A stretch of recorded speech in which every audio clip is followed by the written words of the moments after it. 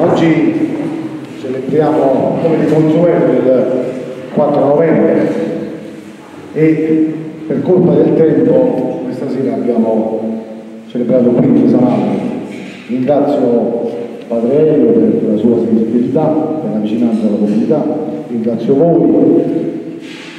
E oggi, ripeto, questa giornata assume ancora più importanza perché come diceva pure Padre Elio, anche nella sua omelia, stasera abbiamo sentito spesso il termine pace. Beh, oggi più che mai è un tema attuale.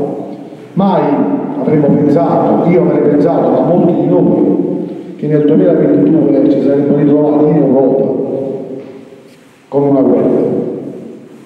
Quindi il primo pensiero nostro, ma credo che dell'intera umanità, va al popolo ucraino, va a coloro che ogni giorno stanno subendo un'ingiustizia, alle tante vittime innocenti, perché ogni guerra, oltre all'impegno dei militari e dei soldati, porta con sé purtroppo tante vittime innocenti, tante donne, tanti uomini, tanti bambini.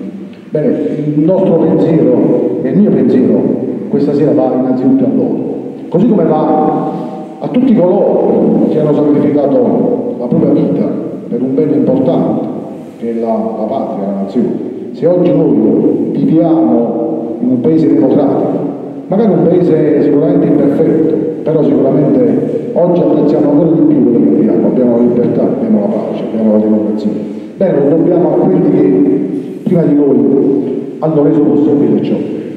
E oggi ricordiamo, così come ricordiamo l'unità, dell'unità della nazione, il 4 novembre, giornata istituita all'indomani della fine del primo conflitto mondiale.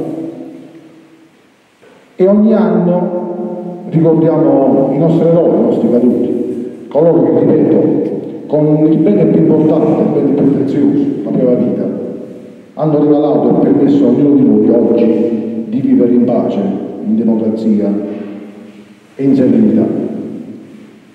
Quindi a loro, ai nostri caduti, va il ricordo, va da parte nostra quel messaggio di ringraziamento e di vicinanza. E adesso darò lettura del nome dei nostri caduti e come di consueto per ognuno di loro risponderemo presente segno della nostra vicinanza, ma soprattutto della loro presenza in mezzo a noi.